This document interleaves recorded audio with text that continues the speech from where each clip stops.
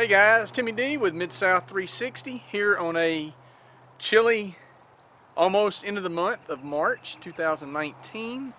Uh, a little unseasonably cool. So today's video is actually going to be pretty short, but I think a lot of guys and girls have uh, possibly wondered, well, I'm trying to get into doing drone mapping. You know, I've got limited funds. You know, what can I get? How can I save money uh, on my equipment. And so one of the questions that's come up is can you use the Reach M Plus for a rover and a base unit? And I think the answer to that is yes. And so you're going to see, I mean, back behind me, uh, I've got my setup and I'll have some close-up shots. But I have the Reach, uh, the M Plus, mounted on a, uh, I forget the dimensions, it's probably about a five and a half inch aluminum ground plane and uh, have it up nice and in the air. And so what I'm going to do is I'm going to take these two uh, prism poles and I'm going to, they're already logging. So I'll do a survey point. I'm going to do 10 minutes at every spot I move to. And so I will give you a Google Earth picture after I post-process this and you can see where the two of them are side by side. And so we actually have trees. I mean, there's a tree here, a tree there, wide open to the to the north. There's trees over to the um, to the east, and so you know this is not this is not the ideal situation. But what I want to do is I want to put this thing up, and we're going to go around, and I'm going to just go and log some different places in my yard, and I may even go on out a little further. But I'm going to purposefully try to get up a little closer to the house. Again, when you're doing this, you want to be in the wide open. Um, but sometimes you do have to be a little closer uh, to trees and buildings than you'd like. And so we're going to see how the log files compare on both units uh, for the same time frame. And so I'll try to stack them uh, and do screenshots so that you can see if we had any uh, uh, complete cycle breaks uh, on either unit. And But I think that you're going to see, I've done some previous tests, and I think that you're going to find out that the Reach M Plus can in fact work as a, as a base and a rover. Now, you know, one of the downsides of using, if you buy the Reach M Plus, if you are dead set and want to use RTK, if you're not wanting to do post-processing, you know, then you have to buy the extra LoRa antenna for it so that you can communicate back and forth with the base unit. Um, so that's going to be an additional cost there. But if you're just looking to get in and do post-processing, then man, I think you're going to find the M Plus. We'll see when all the, the details come in, but I think you're going to find it's a very viable option for having, say if you got two of those, now you can put one on your, your drone if you want to do uh, PPK flights on your, say, Phantom 4.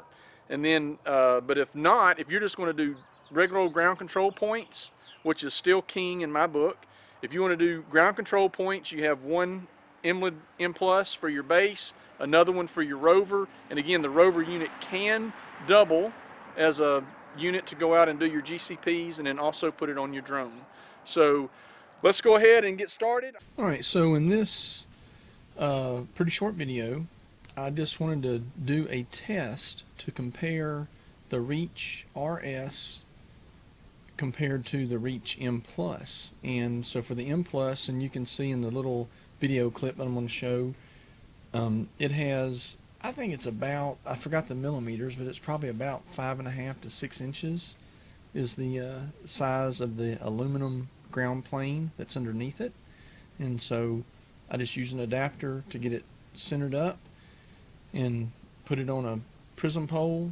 And then I took both of those side by side and just walked them around in different places. And so I will show you some photos of the different locations and you're also going to see that I placed these in a less than desirable location because I wanted to see well how would this compare um, as far as using the M plus for a rover and a base unit? If you're trying to save money you know will it work pretty effectively? I think the answer to that is yes.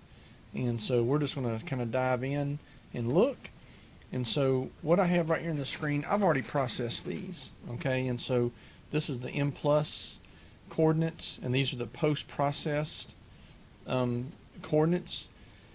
And then I'm going to show you, um, I think I've already saved this, but I'm going to go. So now what I'm going to look at is, I think, RS. Okay, so this is the RS um, satellites, and you can see the, the quality of the, the data signal there.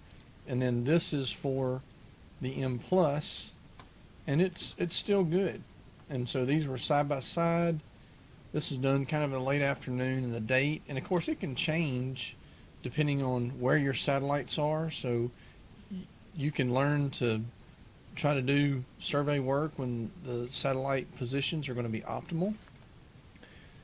And then another thing I did is I went, let's go back to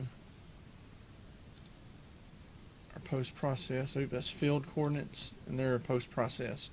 So then I went and I said I want to do an inverse computation. And so I could go, what I did is I went through each site side by side and I use the geodetic distance down here. And so EZSurv will compare the two points and tell you what their precise distance. So I went and did this for every point, two, three, and four. I forgot to do it on point number one. And now let's look at this. And so here's the, the difference right here. That is three millimeters. Is that right? So the right this first column right here, this is the distance that it shows in the post processing between the two units side by side. This is where I took my Leica laser and I measured the distance between the two prism pole extensions. So literally between the two poles. Then those two poles added together and divided by two to get your true center point was 27.15 millimeters. So I took um, this distance here, and that adds your 27 uh, millimeters to it. And so now that becomes the laser measured distance. And then you can see right here, this is the difference between GPS processed and laser measured distance between the two units. And very, very accurate. Of course, I mean, they're right here beside each other, but nonetheless, um, they were very consistent with the laser measuring. So that was good. And I'm going to show you the Google Earth and you'll be able to see the the path, the traverse path. Again, I did this so it'd be up by the house, kind of less than desirable.